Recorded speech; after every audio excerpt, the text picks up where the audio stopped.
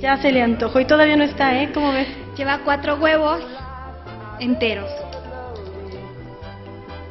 Y aquí está el secreto. Señora, póngale huevos a su flan.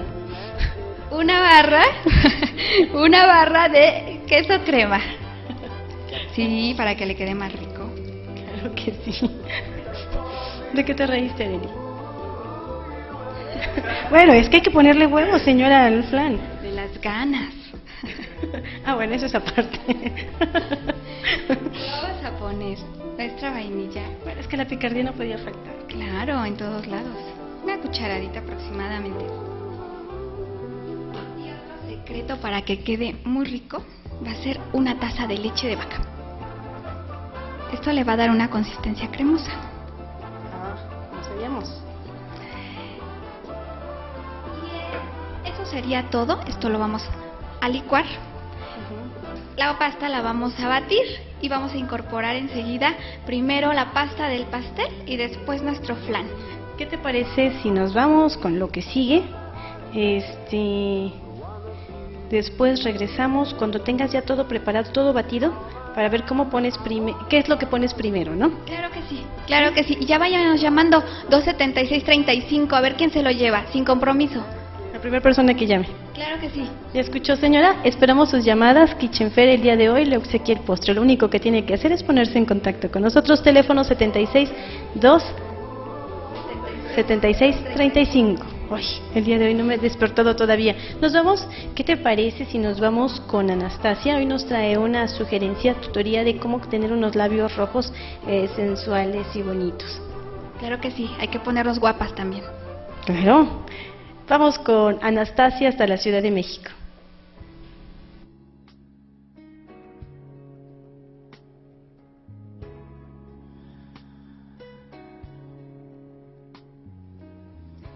Hola, ¿cómo estás? Soy Anastasia y hoy quiero enseñarte a lograr unos labios rojo pasión de, bueno, súper sexys para la noche, para ese día, esa cena tan romántica, tan especial.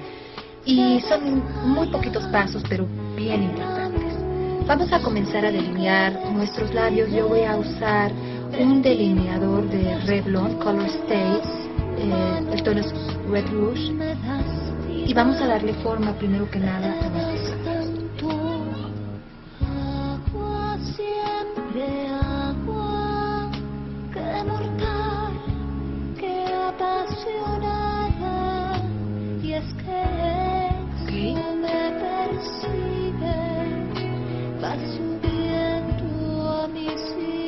Ahora vamos a tratar de rellenar también acá.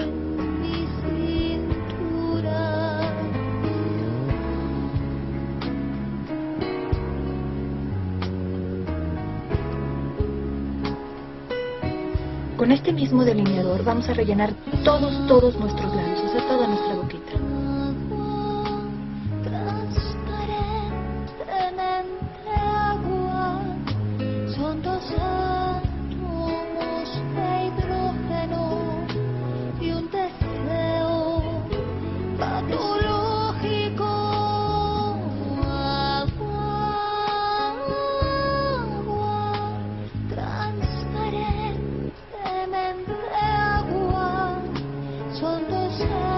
Clientes que me dicen si tienen los labios muy delgados, ¿qué pueden hacer para que luzcan más gruesos?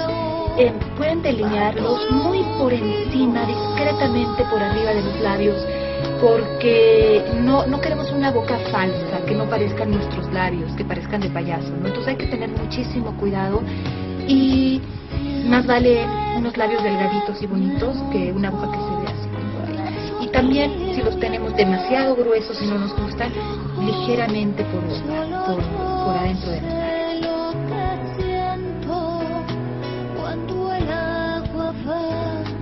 Ya que los rellené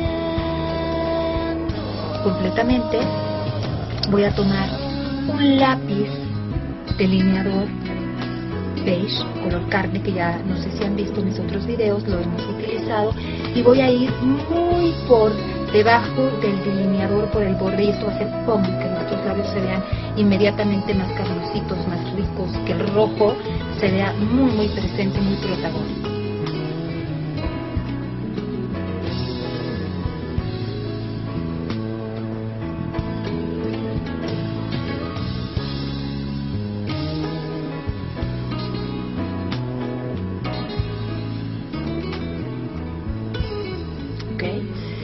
A tomar un rojo que tengo de... ¡Ay!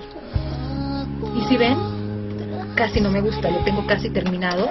Este rojo es de Sephora y bueno, lo pueden encontrar, estoy segura, en cualquier marca. Lo estoy tratando de poner aquí, ¿ok? Y vamos a tomar, en este caso, una brochita delgadita y voy a rellenar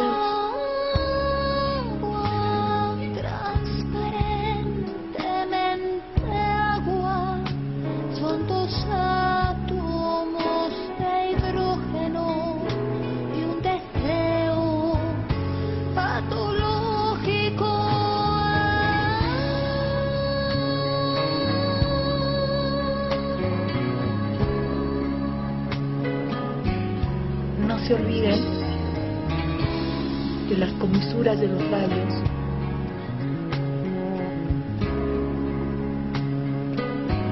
¿Ok? Y ahora voy a tomar un brillo y voy a tomar un poquito de brillo rojo, una burbujita.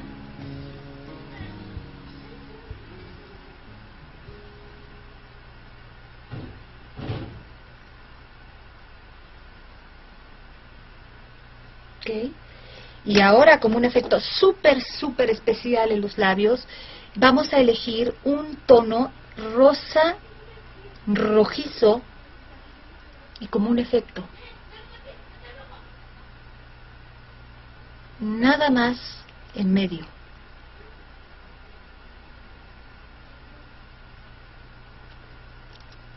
Ahora fíjense muy bien que no tengan, no se haya corrido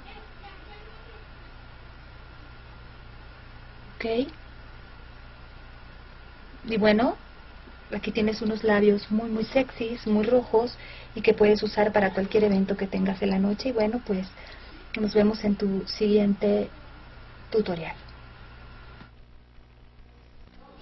Dicen que unos labios rojos siempre llaman la atención. ¿Usted qué cree por aquí, Pulpo, en los controles?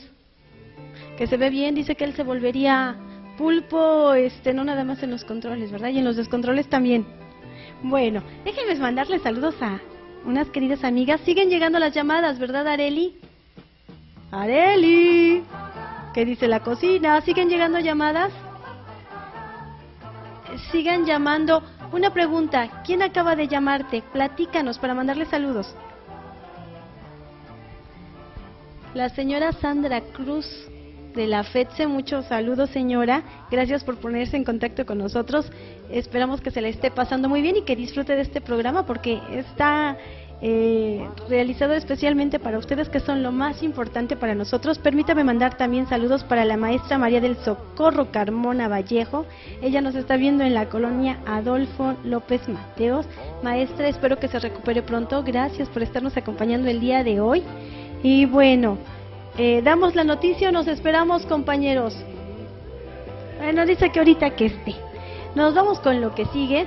Ponga mucha atención. Este es muy, muy importante porque el diario El Economista, quien tan amablemente nos permite presentar los comentarios editoriales y todo lo que ellos hacen y tienen, bueno, nos están enviando estas recomendaciones sobre finanzas, tómelas en cuenta, le van a ayudar, no sabe cuánto en cuanto a, perdón, valga la redundancia, en el manejo de su de sus finanzas. A veces es bueno contar con el apoyo de un experto y qué mejor, eh, con el apoyo de los expertos del economista. Adelante con las imágenes. Una de las preguntas que me hacen más a menudo es ¿cuál es el verdadero secreto del manejo de las finanzas personales? No hay mucho que pensar, ¿no? Yo creo que el secreto de cómo manejar adecuadamente nuestras finanzas personales es el hecho de construir un presupuesto. ¿Qué es esto? Se preguntarán. Es muy, muy sencillo. Lo que